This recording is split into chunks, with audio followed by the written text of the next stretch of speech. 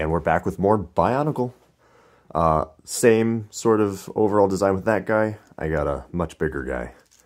And, uh, real long, skinny legs.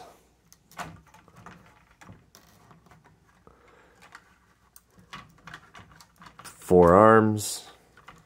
Let's get these folded out here. Them on. He's all black. Probably could have used a bit more color. Make him pop a bit, but, you know, it is what it is. I made this a long time ago. Um, all these arms. So many arms. Real long arms. Yeah. Let's fold all these out. And uh, he has the original Onua mask on.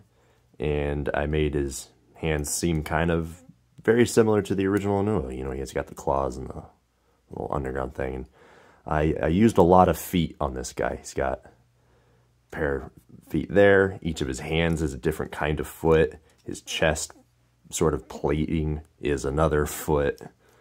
And uh, he's got a lot of a lot of arms, a lot of reach.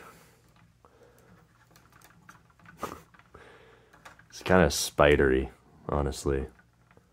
He's very, very long and lanky. Lanky lad. But yeah, so I just want to show this one off.